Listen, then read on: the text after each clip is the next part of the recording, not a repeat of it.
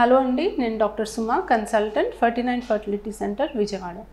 So చాలామంది కపుల్స్కి వాళ్ళకి ప్రెగ్నెన్సీ కన్నా ముందు కొన్ని ప్రాబ్లమ్స్ ఉంటాయి. అంటే ఇప్పుడు బ్లడ్ తక్కువ ఉండడం కానీ షుగర్ ఉండడం కానీ థైరాయిడ్ సమస్య కానీ కొంతమందికి ప్రెగ్నెన్సీలో అవి కనిపిస్తూ ఉంటాయి. సో ఈ ప్రాబ్లమ్స్ వల్ల ఫస్ట్ ఆఫ్ ఆల్ ప్రెగ్నెన్సీ రాకపోవడానికి ఏమైనా రీజన్స్ ఉంటాయా?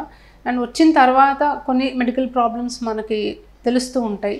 సో ఇది మళ్ళీ లైఫ్ లాంగ్ ఉంటాయా అనేది చాలా కామన్గా అడుగుతుంటారు.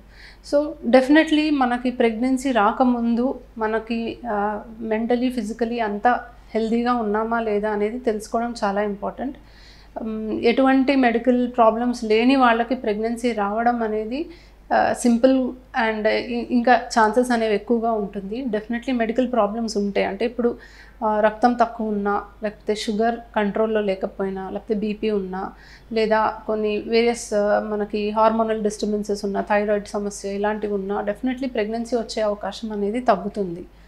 బట్ రాదు అనేలా కాదు. ఒక్కొక్కసారి ప్రెగ్నెన్సీ వస్తుంది కానీ కొన్ని కాంప్లికేషన్స్ కామన్గా చూస్తూ ఉంటాం.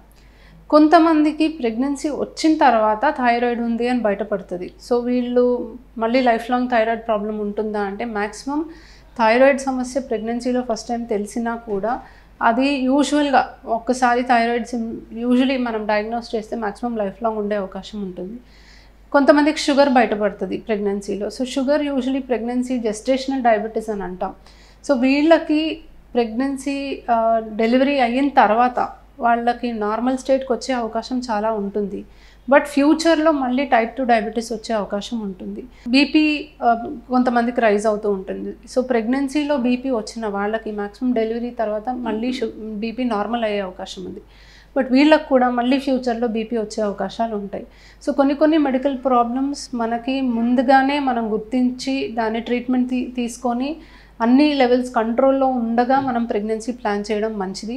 అప్పుడు మనకు హెల్దీ ప్రెగ్నెన్సీ ఏ కాంప్లికేషన్ లేకుండా ప్రొసీడ్ అయ్యే అవకాశం ఉంటుంది. కొన్ని కొన్ని కాంప్లికేషన్స్ మనకి ప్రెగ్నెన్సీ వచ్చిన తర్వాత వస్తాయి. దాన్ని మనం అవాయిడ్ చేయడానికి ఎక్కువగా చేయగలిగింది ఏమి ఉండదు బట్ అన్నీ కంట్రోల్లో ఉంటే మనకు ప్రెగ్నెన్సీ అనేది ఎటువంటి ప్రాబ్లం లేకుండా కొనసాగుతుంది. బట్ చాలా వరకు కొన్ని మెడికల్ ప్రాబ్లమ్స్ షుగర్ బీపీ లాంటివి మళ్ళీ డెలివరీ తర్వాత నార్మలైజ్ అయ్యే ఛాన్సెస్ ఉన్నాయి. బట్ వీళ్ళకి ఫ్యూచర్లో ఏజ్ అయ్యే కొద్దీ మళ్ళీ ఆ ప్రాబ్లమ్స్ రివర్ట్ అయ్యే అవకాశం ఉంది కాబట్టి వాళ్ళ లైఫ్ స్టైల్ అనేది ఒకటి హెల్దీ లైఫ్ స్టైల్ ఫాలో చేసుకుంటూ వాళ్ళు ఉంటే ఇటువంటి సమస్యలు మళ్ళీ రాకుండా ఉండే అవకాశం ఉంది. సో బిఫోర్ ప్లానింగ్ ప్రెగ్నెన్సీ హెల్దీగా ఉండాలి మెంటలీ ఫిజికలీ ఫిట్గా ఉండాలి మెడికల్ ఇల్నెస్ ఏమన్నా ఉంటే కంట్రోల్లో ఉంచుకోవాలన్నీ డ్యూరింగ్ ప్రెగ్నెన్సీ వచ్చినవి ఏమన్నా ఉంటే ఫాలోఅప్ చేసుకోవాలి ఫాలోఅప్ తర్వాత మ్యాక్సిమం మెడికేషన్స్ మీద నుంచి వాళ్ళు రివర్ట్ అయ్యే అవకాశం ఉంది. బట్ ఫ్యూచర్లో కూడా వాళ్ళకు వచ్చే అవకాశం ఉంది కాబట్టి దానికి తగ్గ జాగ్రత్తలు వాళ్ళు తీసుకోవాలి. Thank you